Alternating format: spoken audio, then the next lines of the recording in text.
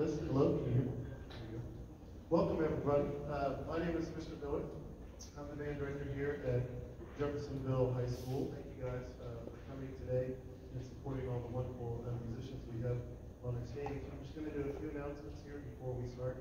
Uh, you guys are uh, in for a treat today. Uh, they've done a lot of hard work yesterday and today.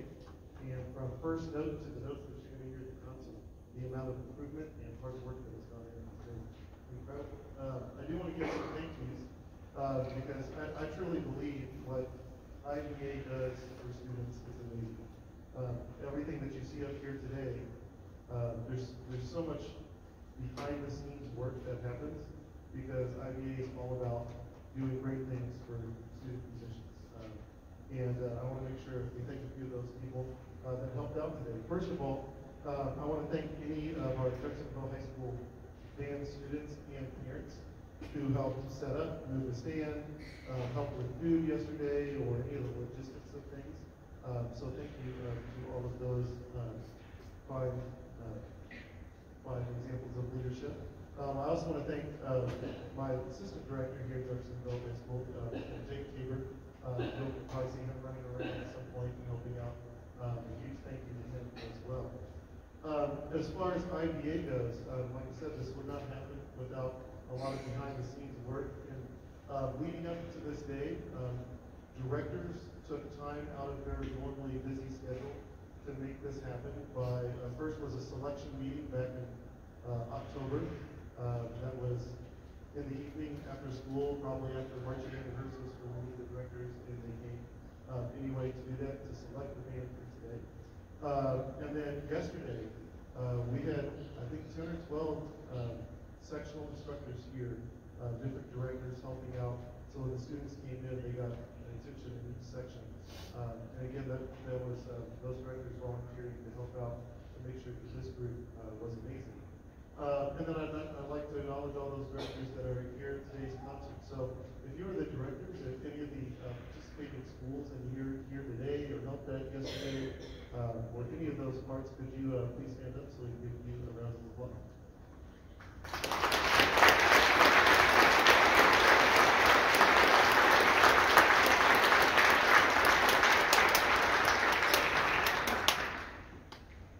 And uh, I'd just like to introduce our guest conductor for this year, which uh, if these students up here, I told us this yesterday, and some of you have made, maybe made the drive up for state solo ensemble um, at North Central High School. Uh, well, uh, Mr. Gramlin is the director there. We know him a, a lot by uh, running that event every year. Um, but uh, if you've never heard one of his uh, bands play or uh, been with him to rehearse a band, he's just a wonderful human being. Uh, has done so much uh, work for IBA itself, including multiple roles, including president and such. Uh, I encourage you to read his bio for the program uh, because he's just an amazing example of service to, to these students and uh, our profession. So uh, without further ado, I'd like to welcome our guest conductor to the stage, Mr. Rick Franklin.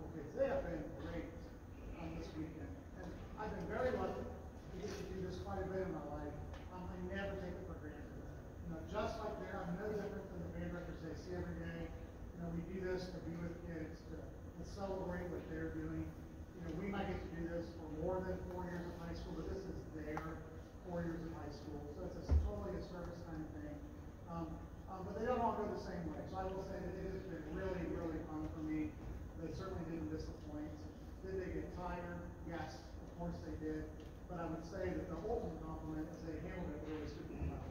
We all knew we were going to get. Okay? And so that says a lot about not only them, but of course you and the schools they come from and the directors of their part of their programs. Okay? I'm going to tell you a little bit about each song, really for a couple of reasons. Percussionists are super fast, they're already done. I won't talk this much every time. But also, we just rest our chops a bit. Your program has songs listed. We're playing all of them, which isn't always the case these weekends because you can plan for anything don't know what's going to happen, who's going to be sick, how strong uh, whatever section is going to be. So going to all the teams. That first one was March of the Trolls. As you can see that listed in your program. Um, Grieg um, was really known for piano music mainly. Um, and the March of the Trolls. Uh, think of trolls can mean a lot of things um, when you picture that. But these were like, uh, just to you a little bit, and I think they pulled it off really well. I just want you to think about how that song sounded, you know, um, kind of mysterious and sneaky and out of nowhere. Um, not big are like, you know, tearing the world apart necessarily. So they really handled that with musically quite well. Yeah, if you had a solo on that song, just might stand up on the March of the any solo.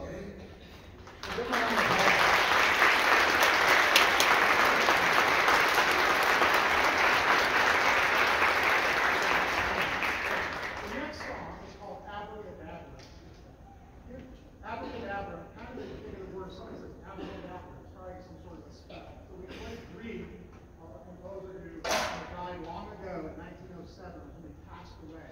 Frank Ticheli wrote Abracadabra. He's very much alive. Um, he was at Southern California, USC. Okay? He wrote this piece, and I'll just tell you a little bit about it because I'm telling you not because I think they're going to be on Jeopardy later, but because I want you to, hear how great they sound, know that like they they made that happen. Like they you knew the story and it matched up. It was pretty cool. So he wrote this. Um, he has had, had young sons in 2004, so they're not young anymore. But he said he wrote this composition thinking about magic and not in an evil, frightening way, but as a source of fun.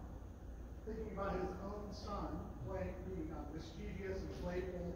I'm thinking of things like Halloween, jack o' lanterns, fall in general, parts of the country at least. Okay? At the conclusion of the song, remember this at the end, it kind of comes to a magical rush and kind of like a, like a at the very, very end. So in about five minutes, remember. You're going to be really proud of how they pulled this all off 是做按摩仪的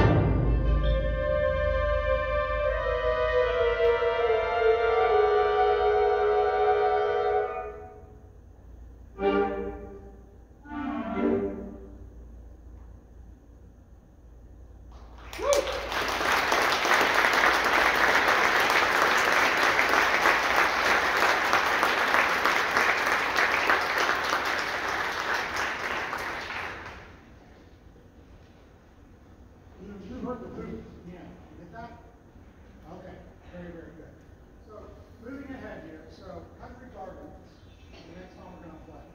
I told the students that Percy Grainger is my favorite composer. Um, you'll see he, he's listed on this song. He didn't actually write this song. Country Garden is a folk song. Um, a Morris dance is a type of dance in your England, I mean, English in your uh, history. Your ancestors probably at least knew this, dude, maybe even danced to it. And many, many composers have arranged this in some way, shape, or form for any number of ensembles. It would be just a piano possibly, or orchestra, or band. Um, you might catch the tune, you might already have heard it, you might recognize it right away. It is a really playful um, song. If you think about English dancers, just keeping that in mind.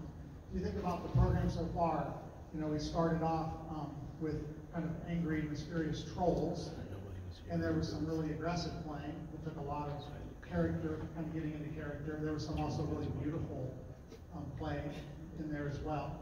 Then that one kind of had a, a big mix too. That one sounded more like maybe almost like moody music. Okay, but this one sounds like a straight up nice little little short dance. And you'll hear a lot of different folks. We have some nice woodwind work in this. And here's some folks kind of standing out with some really cool exposed parts. So um, hope you enjoy Country Gardens.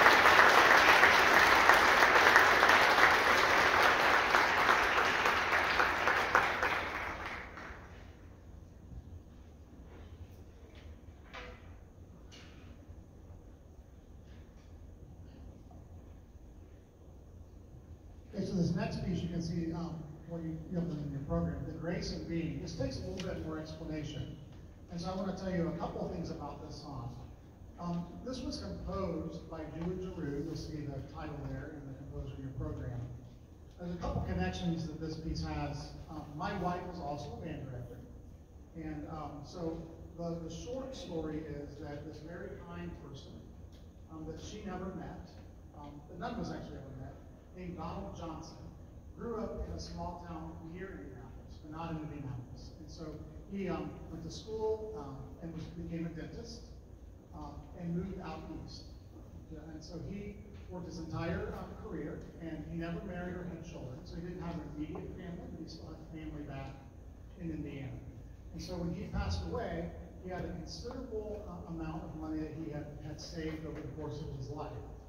And so he asked his family to, to find meaningful things in education specifically around Indianapolis to, to, to use the money. He didn't want to give, you know, three million dollars to one thing. He wanted to give a lot, money to lots of things. He didn't, he didn't guide them with a lot of information. Um, but he loved, he loved his education. He had fond memories of that. So he just wanted the money to go to that. And so um, a, a, group of family members approached several schools, um, and music was something that he, he enjoyed. And so my wife had a, had a great phone call. Imagine whatever your profession is, someone called, hey, we want to, you sell a product, they want to, hey, we just randomly want to buy a whole bunch of stuff from you. And the band director's life, if someone calls and said, hey, we have this person that very generous, you don't know them, but we want to do something really special for your program. That's a good phone call, okay? And so um, they ended up buying some equipment for the band. They bought pianos for every practice room and things like that. But the family wanted to do something that would be more like just kind of live on and to kind of see where it would go. So usually when you commission a piece of music, it's for something, right? You open up a new auditorium. You want to have a song for it. If someone passes away, um, we knew they liked a, a, certain flower. So you write a song, it happens to be that flower. You, you, know they like, they went to this college, so you quote the alma mater. There's all kinds of nice, meaningful ways to touch on someone's le legacy in a nice song. But this was kind of unusual because it was just, you wanted to just give to provide cool things. And so my wife and I are friends with this composer. She's actually quite well known. She's written for lots of movies and TV shows um, that we've all heard still writes to this day, writes for video games, He's a huge composer um, pool of music that goes to video games now because video gaming is so big in the world. Um, but she's also written a lot of um, band music as well. And so, knowing that this person just gave this freely, the composer wrote this. Just the fact that you just wanted to be an influence, the grace of being. Her, her comments are everybody deserves to be what they're meant to be. Um, the music was composed for all those that are playing it, um, wanting to embrace everyone, we're all very different. Um, so the cool thing about this band is they're all from the same band. They will never all make music again after today at the same time. This is a special moment we're all going to share. And so as we play the Grace of Being, um, it looks on, on paper to be quite simple, but it's actually probably the hardest song we're playing as far as having to be very independent and count for yourself So the whole like you matter. You are not easily replaced. Like you, everyone on stage has to very much be their own person on this song. And instead of being like, hey, these 20 people have this melody and these 20 people have that melody. So it's really written in that so that we understand that we can make it, and if we don't do it, no one else is going to do it. We matter a lot. I would invite you to just really enjoy how pretty it is, and to just really think about like these students have done some wonderful work they're not done yet. But, and I love, I, I, used to teach beginning band as well. That is the most magical time to, to be a band director. But think about tone quality when, when the first day they brought their horn home to you. Um, it was probably loud. Loud was probably how you described it. You're good and loud. Remember those days? Yes? You hearing me? So this is where I want you to just really enjoy that they sound really older than they are. Like they sound so mature. And that's a compliment to each one of them individually on this song. So enjoy the grace of being, enjoy the beautiful, beautiful tone qualities that they have. Um, that is they're, they're wise beyond their years music. That's a testament to their own their. Woo!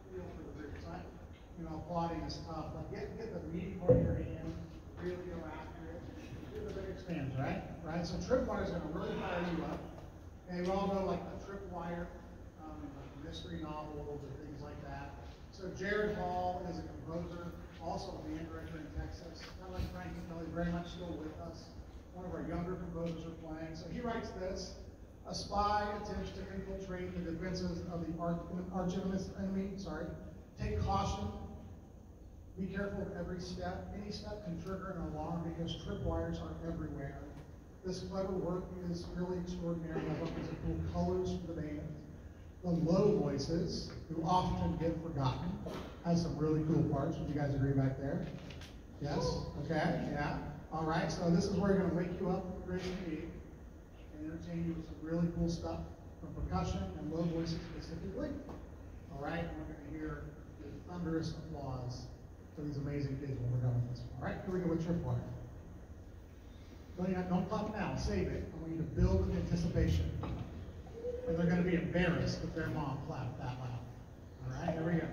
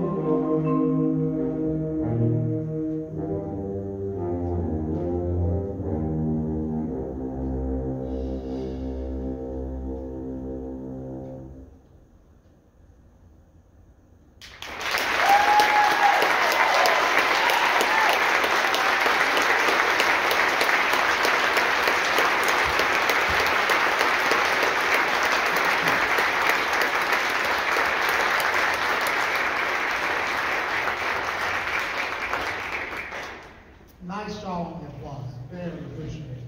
Now, if you have any, let's, let's uh, yes, a few soloists early on stand up, but if you have had a solo any time today, stand up again or stand up for the first time. Any solo today, give a big round.